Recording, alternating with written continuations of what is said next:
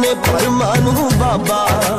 ਜਾਤ ਪਾਤ ਨੂੰ ਨਾ ਮੰਨੇ, ਸਗੋਂ ਮੋਹ ਤੇ ਪਿਆਰ ਵਾਲੇ ਬੀਜਦਾ ਏ ਗੰਨੇ ਭੁੱਖ ਕਿਸੇ ਦੀ ਨਾ ਵੇਖੇ, ਸਭ ਲਾਉਂਦਾ ਡਾਡੇ ਲੇਖੇ। ਲੋਕੀ ਰੱਖਦੇ ਭੁਲੇਖੇ ਨੀ ਏ ਸਭ ਤੋਂ ਅਮੀਰ